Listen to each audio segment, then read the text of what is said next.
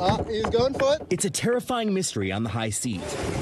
Why are orcas, better known as killer whales, attacking boats by the hundreds, slamming into sailboats, ramming their rudders, even sinking at least half a dozen vessels since 2020?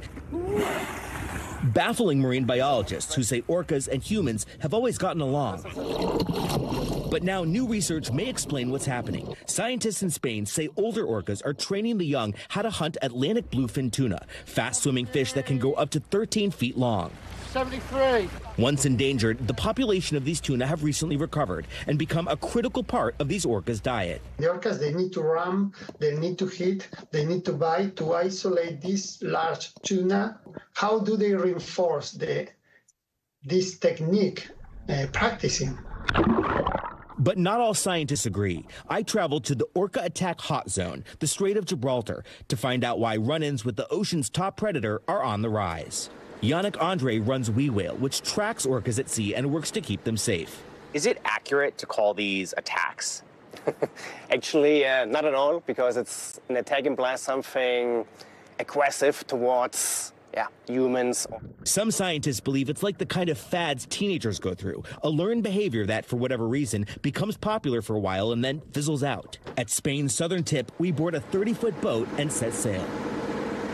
Despite their nickname, killer whales, orcas are actually massive dolphins, up to 27 feet long and weighing as much as 6 tons, and extremely intelligent, with their own language of clicks and whistles. The subspecies striking boats is called the Iberian orca, and it's considered critically endangered, just 35 still believed to be alive. Is there a real risk the Iberian orca could become extinct? Definitely.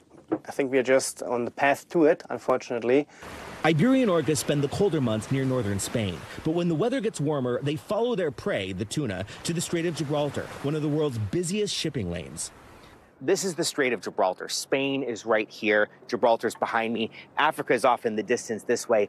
And this is ground zero for where orcas have been sinking boats. There have been no deaths, but a lot of scares. Since 2020, roughly 700 orca interactions with boats. Yeah. Oh my God. It was in these waters in May that orcas rammed this 65 foot British yacht for an hour, breaking the rudder and flooding the engine room, prompting a mayday call and an emergency rescue. In the coastal town of Barbate, Spain, everybody has a story. Manuel Marianda was followed by a pot of orcas during his nightly fishing trip. He says, of course, they can sink you.